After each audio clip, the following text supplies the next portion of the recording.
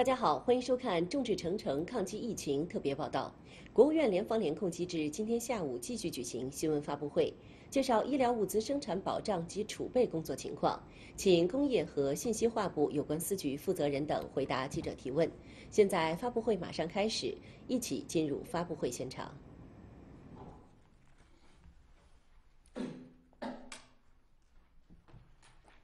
各位媒体朋友，大家下午好。欢迎参加国务院联防联控机制举办的新闻发布会。今天发布会的主题是医疗物资生产保障工作。我们请来了工业和信息化部新闻发言人、运行监测协调局局长黄立斌先生，消费品工业司副司长曹学军女士，装备工业一司副司长陈克龙先生。中国医药集团有限公司党委书记、董事长刘敬珍先生，请他们就保障医疗物资和重点药品供应、补齐高端医疗装备短板、医疗物资应急调运等来回答媒体的提问。首先，通报一下疫情情况。四月七日零时至二十四时，各省区市。和新疆生产建设兵团报告，新增确诊病例六十二例，其中五十九例为境外输入病例，分别为山西二十五例、黑龙江二十五例、上海五例、广东两例、北京一例、浙江一例，三例为本土病例，分别为。山东两例，广东一例。新增死亡病例两例，其中上海、湖北各一例。新增疑似病例十二例，其中十一例为境外输入病例，一例为广东本土病例。当日新增治愈出院病例一百一十二例。解除医学观察的密切接触者两千二百九十五人，重症病例减少二十二例。境外输入情况：现有确诊病例七百一十四例，其中重症病例二十三例，现有疑似病例八十二例，累计确诊病例一千零四十二例。累计治愈出院病例三百二十八例，无死亡病例。截至四月七日二十四时，据各省区市和新疆生产建设兵团报告，现有确诊病例一千一百九十例，其中重症病例一百八十九例，累计治愈出院病例七万七千。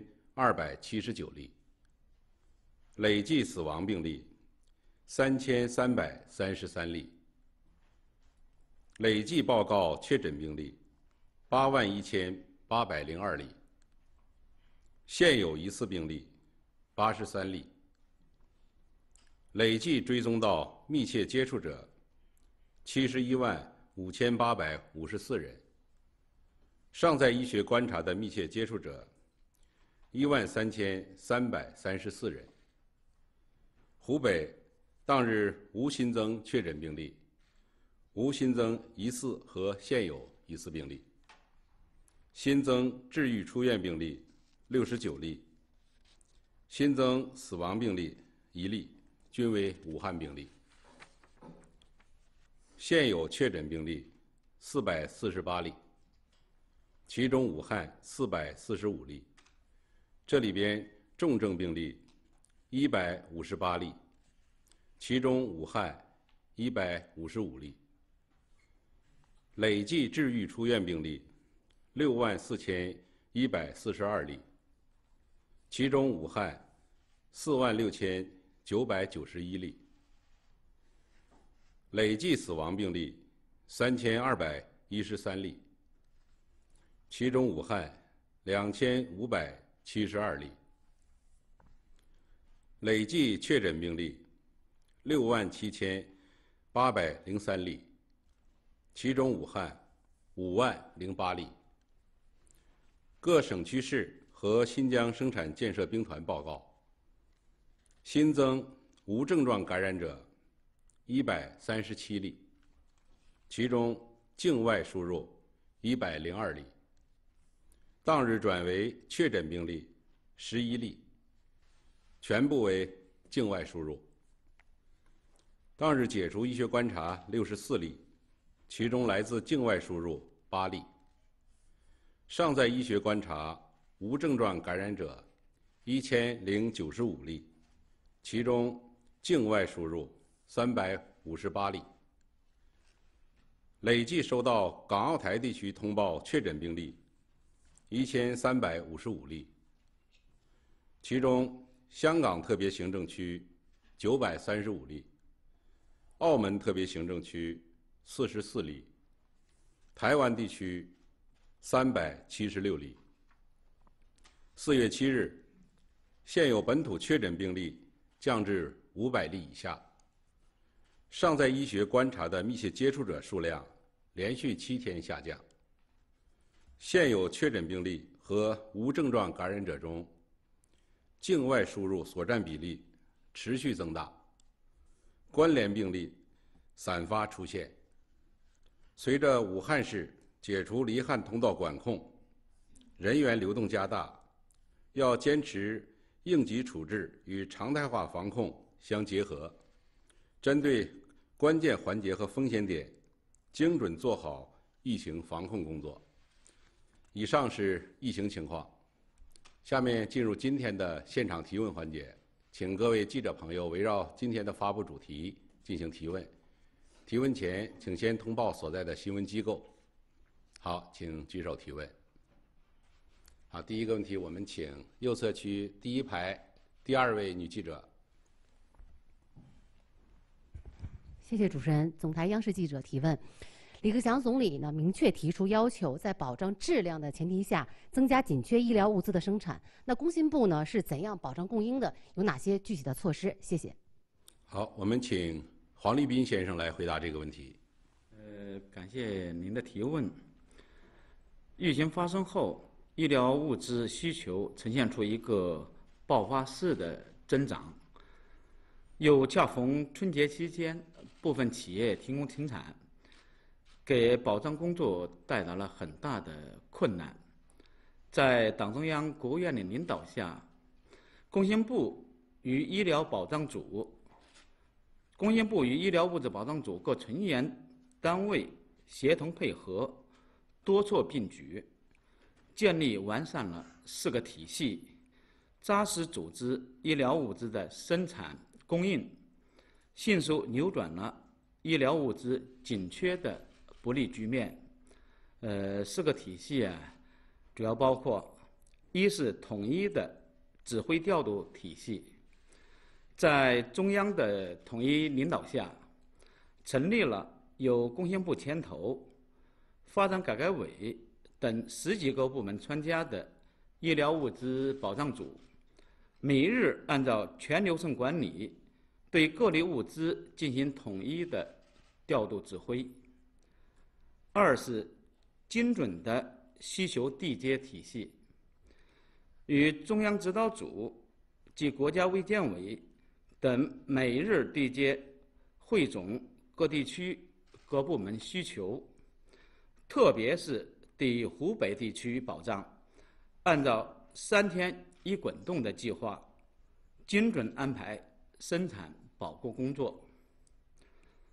三是全产业链生产保障体系，会同有关部门，推出了一系列的财税金融措施，协调药监部门，加快生产资质审批，支持企业。转产扩能，强化上下游产业链保障，针对医用防护服等重点物资生产企业，派出驻场驻场特派员，帮助解决生产设备、原材料、运输等问题。四是灵活高效的输出调拨体系，组织国药集团等输出企业，对企业生产物资进行了临时的输出，搭建了国家重点医疗物资保障调度平台。疫情防控最吃紧的时候啊，呃，平均每三小时调度一次医用防护服的生产和发货情况，统筹兼顾，确保重点，优先保障武汉地区的需求，同时啊，兼顾其他地区疫情防控的需要。截止四月二号，国务院联防联控机制医疗物资保障组。累计为湖北等地区调拨了医用防护服超过八百万八百余万件，医用隔离服、医用隔离面罩、眼罩一百六十五万个，免洗手消毒液三百五十七吨，手持红外测温仪六十六万台，负压救护车一千余辆，呼吸机。等医疗救治设备超过了七万台套，为湖北省乃至全国的疫情防控工作提供了有力的支撑。谢谢。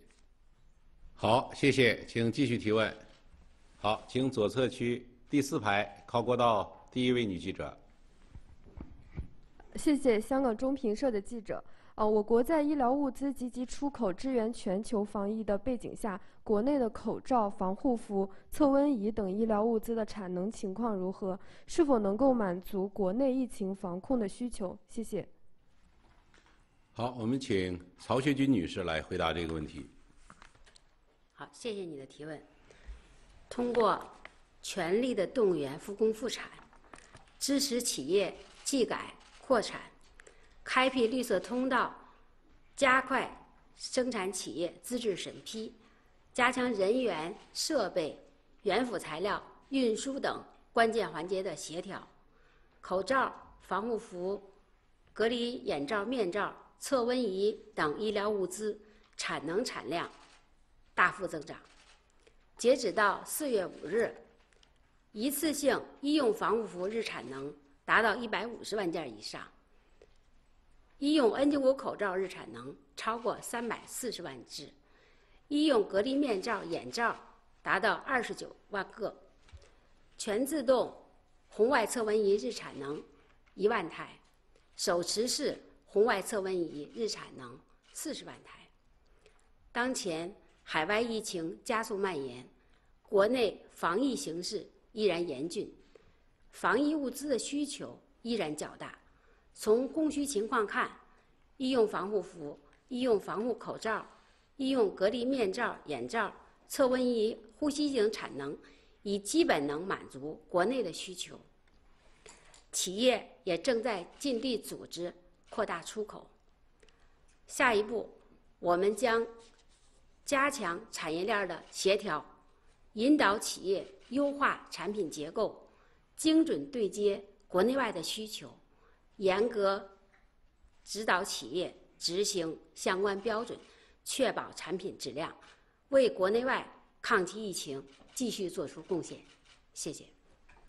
好，谢谢，请继续提问。好，我们请右侧区第二排靠过道第一位外媒女记者。Uh, thank you. I'm China Arab TV journalist. The global epidemic situation is constantly rising, and China's medical supplies are being exported in large quantities. Can Chinese supplies capacity keep up with rising demand for foreign orders? Thank you. 好，请把问题翻译一下。中央卫视的记者，现在全球的疫情不断攀升，中国的医疗物资在大量供给出口。 那请问，在这种情况下，中国的物资供应能力能不能跟得上不断攀升的国外订单需求？好，我们请黄立斌先生来回答这个问题。呃，谢谢您的提问。中国是医疗物资的生产大国，应对疫情防控需求，我国各类呼吸机、医用防护服、医用口罩等重点医疗物资生产能力快速恢复，并实现了扩能扩产，为有效防控疫情提供了有力的支撑。在保障本国疫情防控的同时，我们的企业加班加点，正千方百计为全球抗疫提供支持。呃，根据全球疫情蔓延扩散的态势啊，在扩能扩产，但也应该看到，在庞大的国际需求面前，我们的能力也是有限的。同时，还有诸多因素制约着我国医疗物资产能的发挥和供给能力的提升，比如全球媒体关注的呼吸机生产。就受到全球化的核心零部件供应不足的制约，我国的产能不足全球的五分之一。即使在关键零部件保障供应的情况下，想完全满足全球疫情防控需要，这也是不太现实的。再比如，防护服的全球保供也受到。中外质量标准、使用习惯等差异的制约。我国防护服目前的日产日均产量已经超过了一百五十万套，理论上讲，满足国际市场需要的问题啊不太大。但这些防护服是分别按照中国、美国、欧盟、日本。等不同质量标准体系生产的，与进口国和地区的相关要求并不完全匹配。近期，商务部、海关总署、国家医药监督管理总局和国家国家市场监管总局和国家药监局四部门出台规定，要求出口的检测试剂等五类产品。国内生产必须获得我国药监部门的资质，同时要符合进口国和地区的质量标准要求。在中国疫情防控形势向好、国外疫情蔓延加速的时候啊，我们愿意对有关国家和地区提供力所能及的支持和帮助，鼓励企业。用高质量的中国产品去服务国际社会，谢谢。好，谢谢，请继续提问。好，我们请左侧区第五排最靠边这位女记者。您好，总台央视财经记者提问。呃，在疫情防控期间，国内医疗装备生产企业提供了积极保障，但是在保障过程中也出现了一些短板和弱项。之前工信部已表示将加快补齐高端医疗装备短板。那么，请问我国医疗装备行业的现状如何？下一步又有什么推动发展的具体举措？谢谢。好，我们请陈克龙先生来回答这个问题。好，谢谢您的提问。嗯，医疗装备产品呢品种多。产业链长，技术含量高，国际化发展程度高。二零一四年以来，工信部、国家卫健委建立了推进医疗装备发展的合作机制，共同推动我国医疗装备扩大产业规模、健全产品体系、提升技术水平。二零一九年呢，全行业实现营业收入约三千一百七十亿元。超声治疗、PET-CT。CT 等产品达到国际先进水平，深圳迈瑞、山东新华、北京乐普等企业进入全球医疗行业五五十强。据中国医学装备协会统计，此次疫情发生以来，我国医疗装备生产企业已经累计向全国提供医疗装备十一点五万余台，其中呢，向湖北提供。呃，超过三十八种，也超过七万余台的装备，其中心电监护仪、血液透析机、血气分析仪等大部分医疗装备，满足了疫情防控、患者救治的需要，为打赢疫情防控阻击战奠定了物质基础。但是在此过程中呢，也凸显了行业发展存在的一些短板和弱项，如 ECMO 等高端医疗装备国内企业无法生产，有创呼吸机等供给不足，部分产品性能有待提升，标准体系尚不健全等。三月二日。习近平总书记在考察新冠肺炎防控科研攻关工作时，强调，要加快补齐我国高端高端医疗装备短板，加快关键核心技术攻关，突破技术装备瓶颈，实现高端医疗装备自主可控。我们呢，正在组织医疗卫生、医疗装备等领域的专家，深入梳理医疗装备的短板弱项。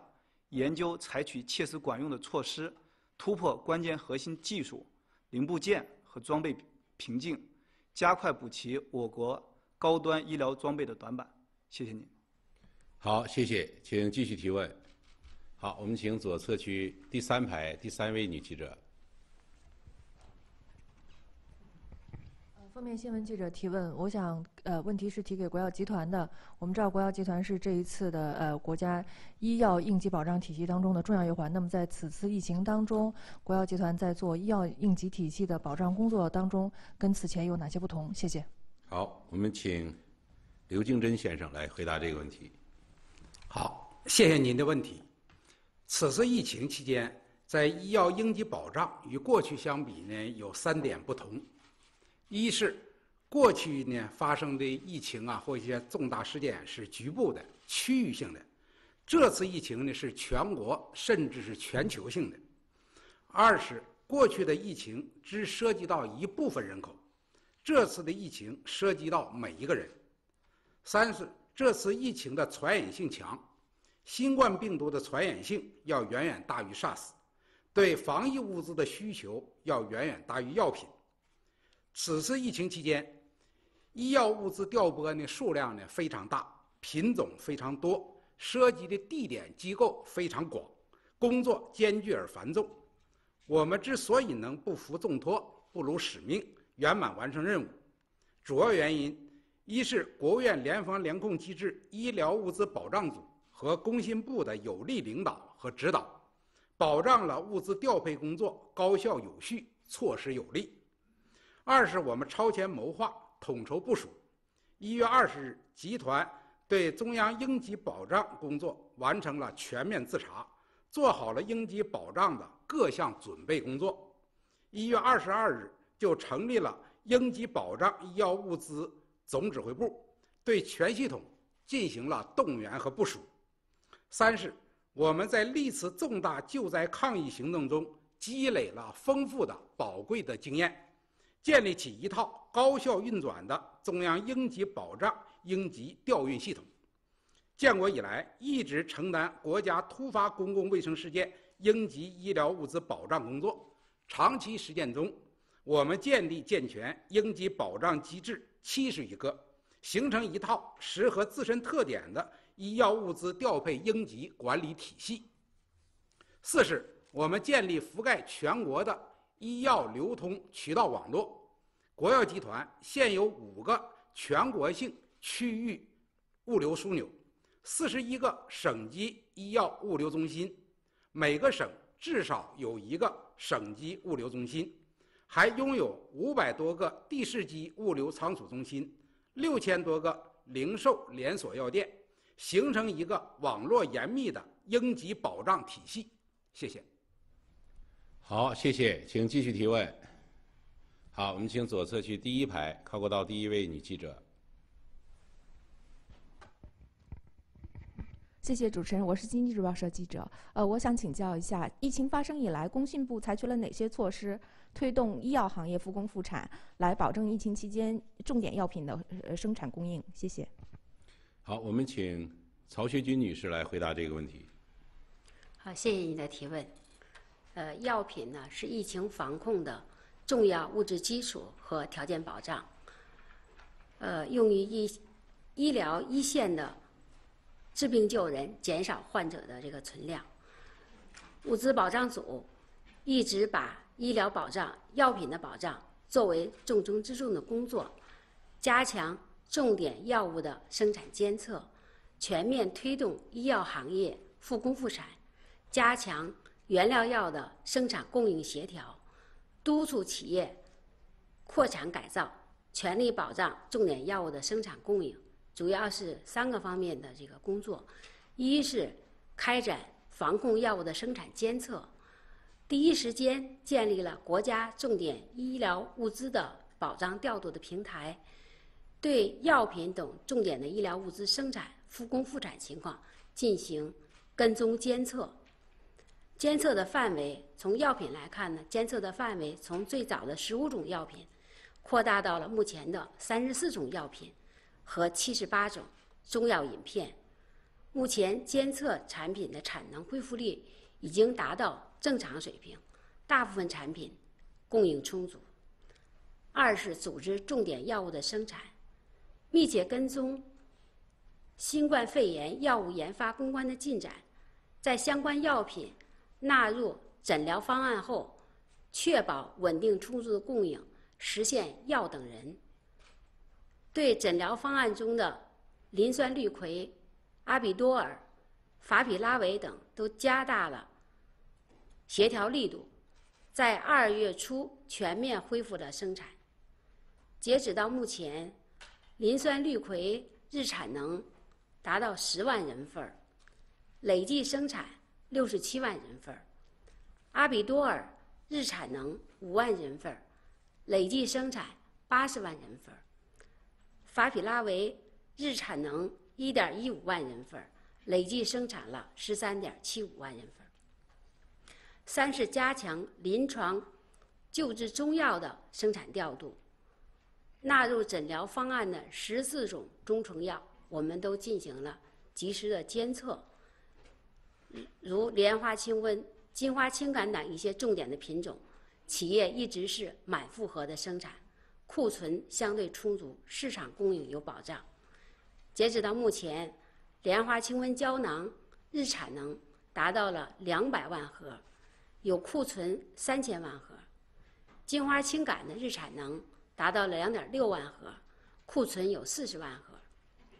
下一步呢，我们将继续加强生产的调度，协调解决企业生产中遇到的实际困难，全力保障重点药品的生产供应。谢谢。好，请继续提问。好，我们请右侧区第二排第三位女记者。谢谢主持人，我是总台央广记者。那么刚才黄立斌局长也提到，随着疫情在全球蔓延，国外对有创呼吸机的需求在大增。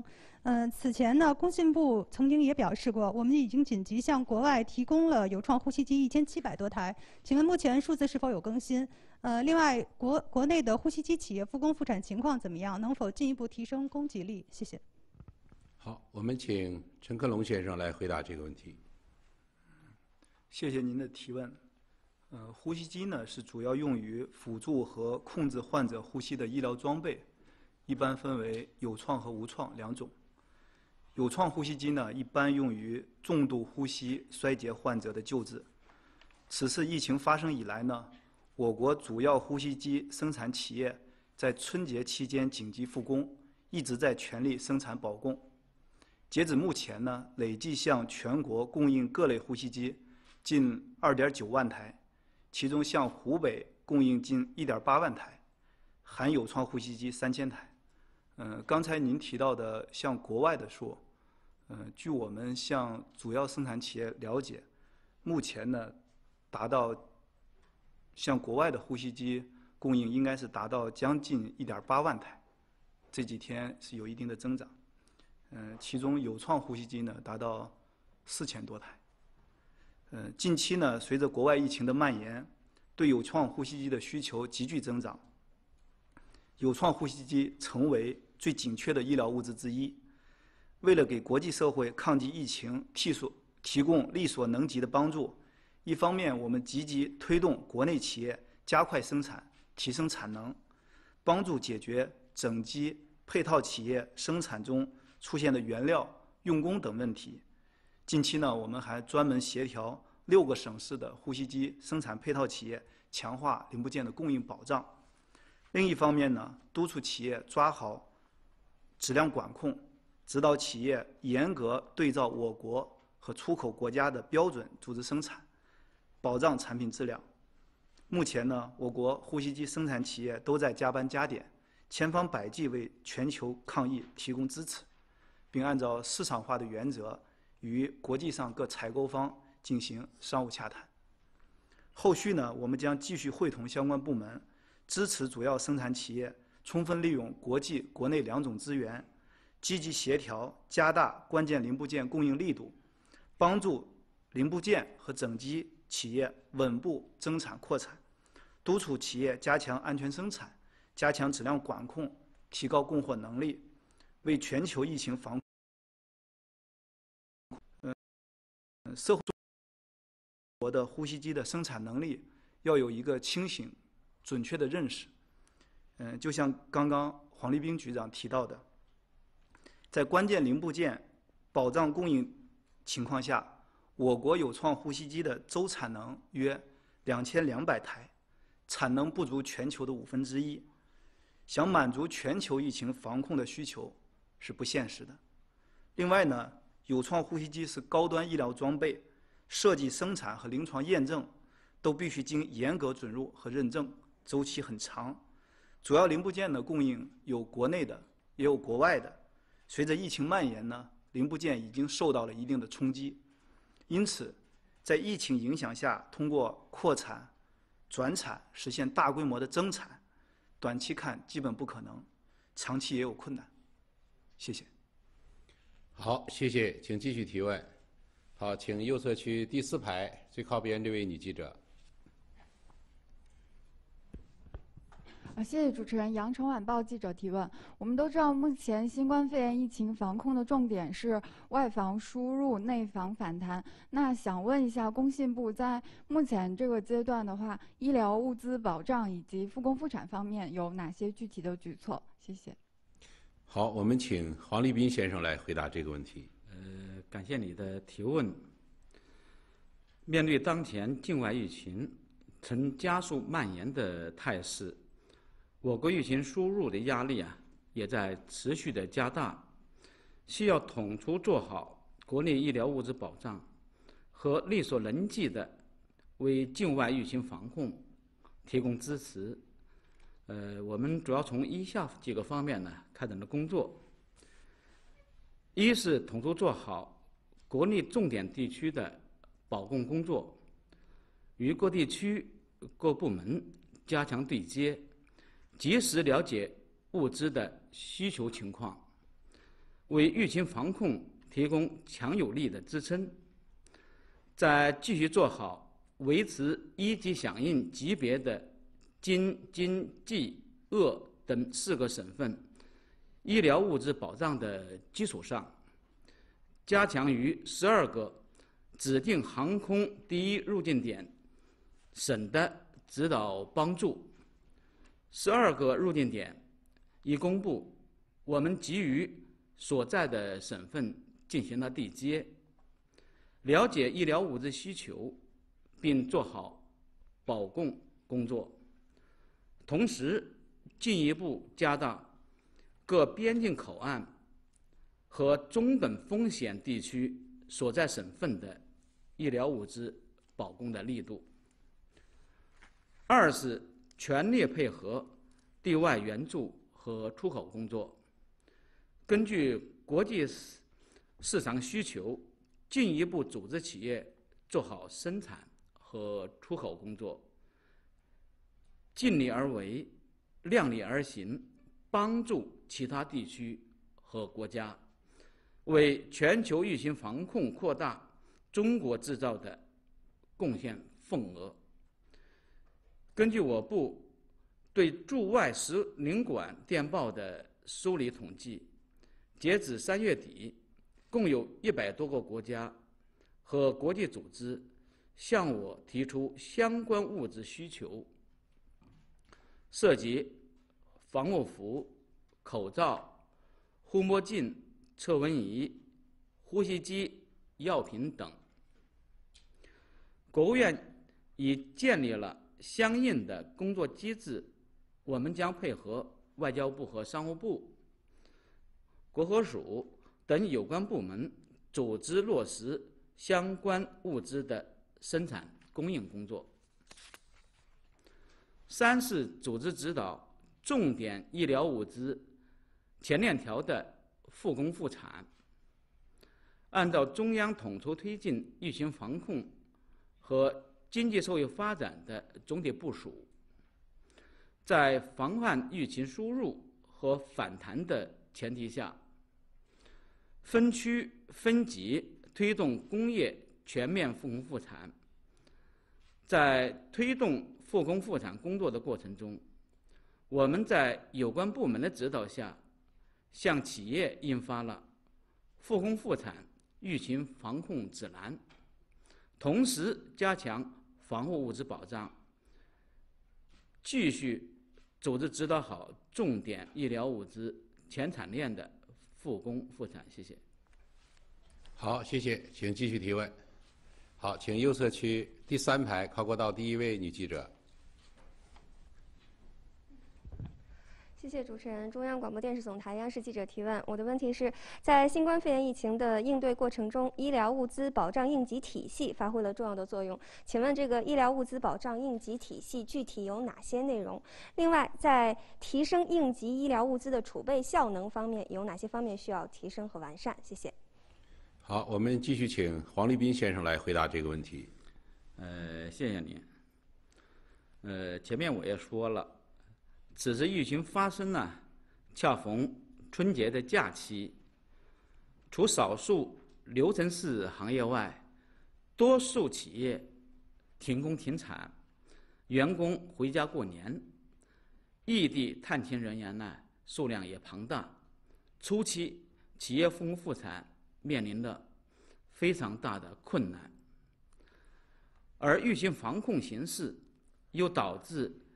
医用物资需求突然放大到百倍甚至千倍，供需矛盾十分突出，保供压力非常巨大。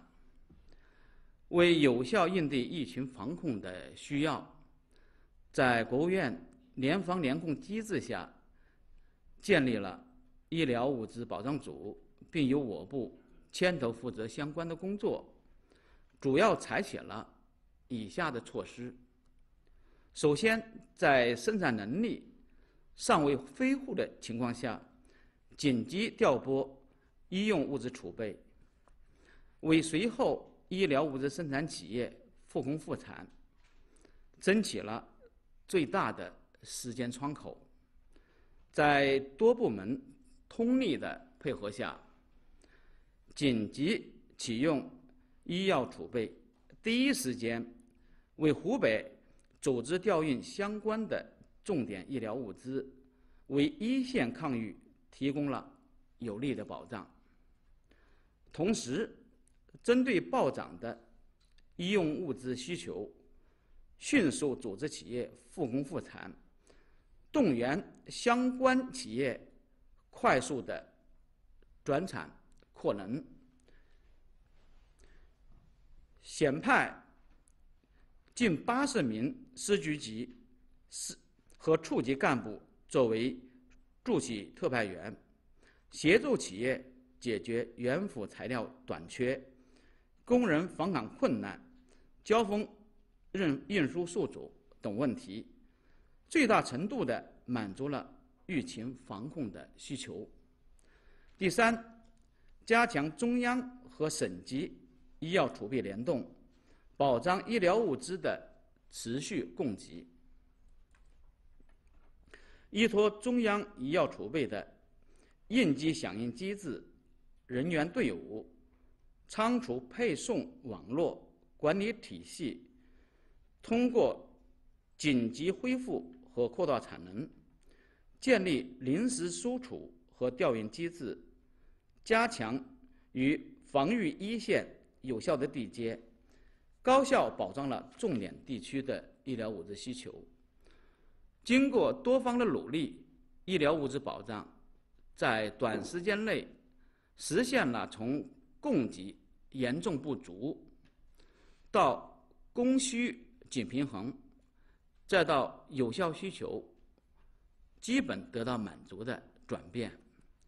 应该说，医药储备在这次疫情防控中，是继保障非典、禽流感、汶川地震、甲流等灾害疫情后，再一次发挥了重要的作用。同时，也应看到，我们的储备模式还有待进一步的优化，在保证适量物质食物储备的前提下，应更加注重产能的储备和技术的储备。另外一方面，地方储备规模较小，储备形式较为单一，也不适应疫情防控的需要。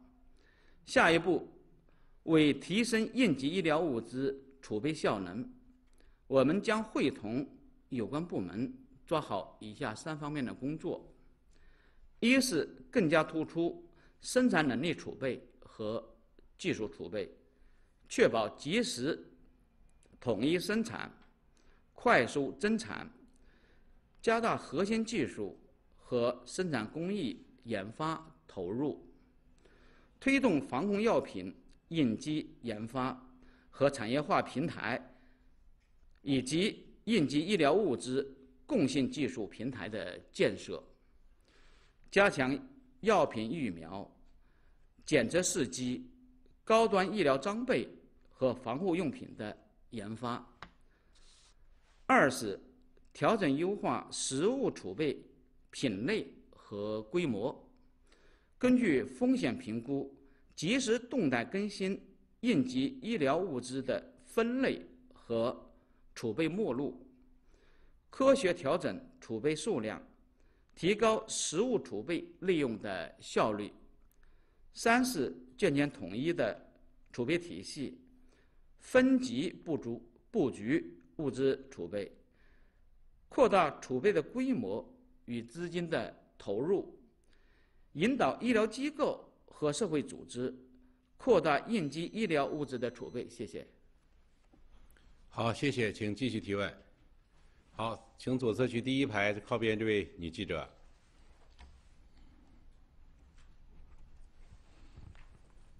嗯，谢谢主持人。健康报记者提问：我们知道疫情防控的初期，医疗物资呃非常的短缺。嗯，请问这暴露出了我国医疗物资保供方面存在哪些短板？下一步我们的国药集团将如何发挥自己的优势作用？谢谢。好，我们请刘敬珍先生来回答这个问题。谢谢您的提问。疫情发生以来。国药集团积极配合工信部做好医疗物资保障工作，全系统一千五百家单位、十五万国药人全员动员、全线出击、全域作战、全力以赴，以战时状态做好医疗物资应急保供等各项工作。截止目前，累计向全国各地调运防护服等防疫物资八点五亿件，其中调往湖北武汉三点二亿件。春节期间。我们克服艰难险阻，在全球范围内筹措医疗物资，从三十个国家和地区采购防护物资。现在呢，也在开展国际援助和国际政府间采购，已与八十八个国家和国际组织签约三点六亿件，已向六十四个国家发货一亿多件，支援全球战役。当然，在疫情初期，因为当时春节期间。呃，当时是防疫物资、防护物资，比如说口罩、防护服发生了这个短缺，但是其他，尤其是储备的药品，呃，并不缺。我们发挥呢生物健康全产业链的优势，在药品、疫苗研发、攻关、应急生产、医疗救治、综合保障等四个方面，全力保障医疗物资的供应，彰显中央企业、国家队主力军的责任担当。一是，在药品、疫苗科研攻关方面，中国生物北京和武汉等六个生物制品研究所率先研发出新冠病毒核酸分子检测试剂盒和抗体检测试剂盒，首批通过国家药监局的认证；率先提出康复者血浆治疗方法，获得国务院联防联控机制推荐使用，被纳入国家卫健委诊疗方案，率先研制救治重症、危重症患者的特异性免疫球蛋白和单克隆抗体，率先研制夺取抗击疫情全胜的新冠疫苗，现在取得重要的阶段性成果。二是，在生产制造方面，我们加大马力，保障各类救治药品及时供应，提供了充足的弹药。在国家卫健委诊疗方案中推荐使用的药物大约是一百零五个品种。我们集团所属的中国中药、上海现代制药、天坛生物等一百余家生产企业，可自主研发生产九十一个品种，并可提供全部药品的供应。三是，在医疗救治方面，国药国际所属六十四家医疗机构，一万五千名医护人员全部投入疫情防控，尤其是湖北地区的六家医院四千二百余名医护人员和慈源武汉、金银潭医院等百余名医护人员始终奋战在最前沿。四是，在综合保障方面，在火神山、雷神山医院的工程设计施工、医药物资设备供应、服用器械。消毒灭菌等各个方面，国药控股、国药工程等多家企业做了大量综合服务保障工作。谢谢。好，谢谢，请继续提问。好，请右侧区第五排第三位女记者。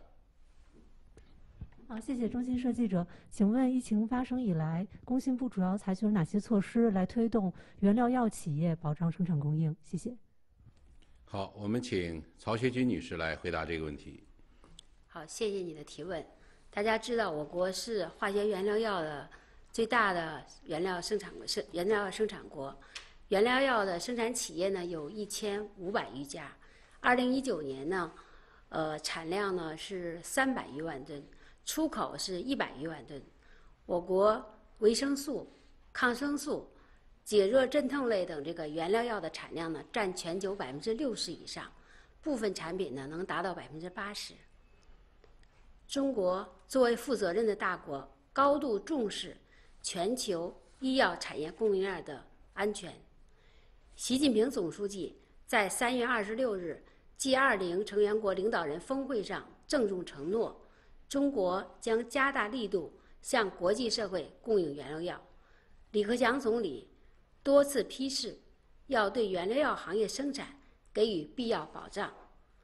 我部按照国务院领导、中央领导的要求，全全面梳理了原料药的产业链，对三十余家重点企业开展生产调度，解决企业供应链的堵点，推动企业技改扩产、协调物流运输等问题。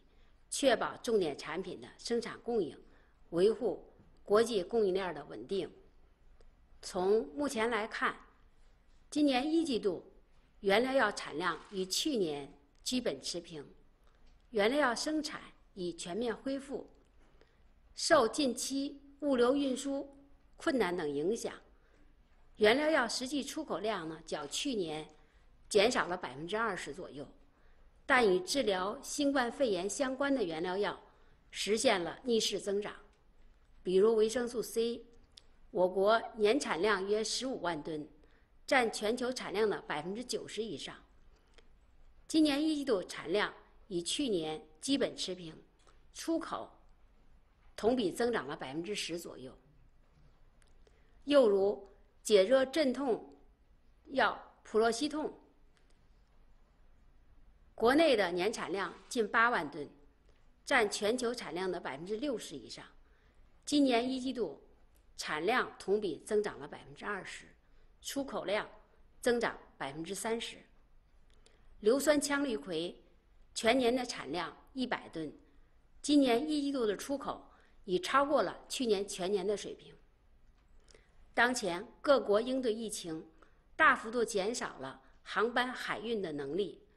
出口的国际运输困难加大。下一步，工信部将加强与世卫组织、外商协会、跨国药企的对接，重点解决跨国运输等问题，保障国内国际的市场供应。谢谢。好，谢谢。时间关系，我们最后再提一个问题，请继续提问。好，请右侧区第五排这位男记者和过道这位男记者。谢谢，我是来自中国电子报的记者。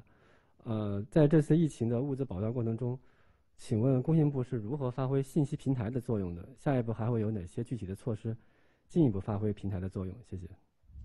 好，我们请黄立斌先生来回答最后这个问题。谢谢您的提问。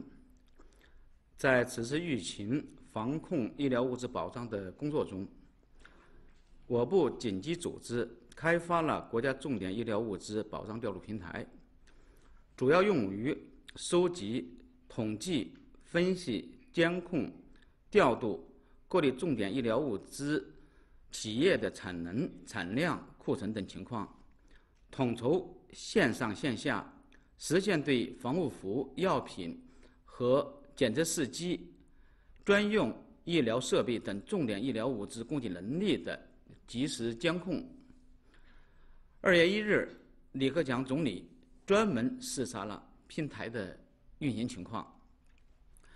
截止四月一号，平台覆盖九个大类、一百一十六个中类医疗物资产品，收入企业两千六百五十六家。基本实现了对医用防护服等重点医疗物资生产企业的全覆盖，实现了分区域、分类别的企业产能、产量、库存、周转保供情况的监测，为重点医疗物资保障科学决策提供了信息窗口。下一步。我们将进一步加强平台的功能建设和推广应用，优化完善重点医疗物资供需平衡和调度功能，充分运用大数据、物联网、人工智能等信息技术手段，整合各方资源，将平台建设成集信息采集、分析研判、统筹调度。及辅助决策等功能于一体的综合信息平台，同时逐步扩大应用场景、分类直径、应急物资产品目录和生产企业名单，定期开展应急物资及上下游产业链的生产能力调查监测，推动重点医疗物资信息开放共享，实现。集中化、集约化、智能化管理，谢谢。好，谢谢，谢谢几位嘉宾。今天几位嘉宾为我们介绍了医疗物资生产保障工作的相关情况。明天的发布会，我们将围绕应对疫情影响、稳定和扩大汽车消费。届时我们会请国家发展改革委、财政部、生态环境部和商务部。相关司局的负责人来回答媒体的提问，欢迎大家继续关注。今天的发布会到此结束，谢谢大家。